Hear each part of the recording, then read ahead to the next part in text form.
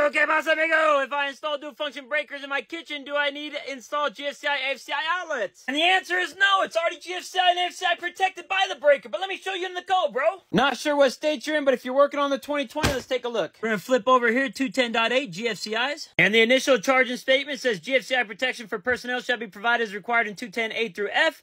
The GFCI shall be in a readily accessible location. I'm installing the dual function breaker, so this is definitely readily accessible. Jump over to A dwelling units, all 125 volt through 250 volt receptacles installed in locations specified in 210A1 through A11 and supplied by single phase branch circuits rated 150 volts or less to ground shall be ground fault circuit interrupted protection for personnel. Let's go down the list. Kitchens. Receptacles are installed to serve the countertop surfaces. So with this breaker here, you can install standard receptacles along the countertop, just as long as they're tamper resistant, right?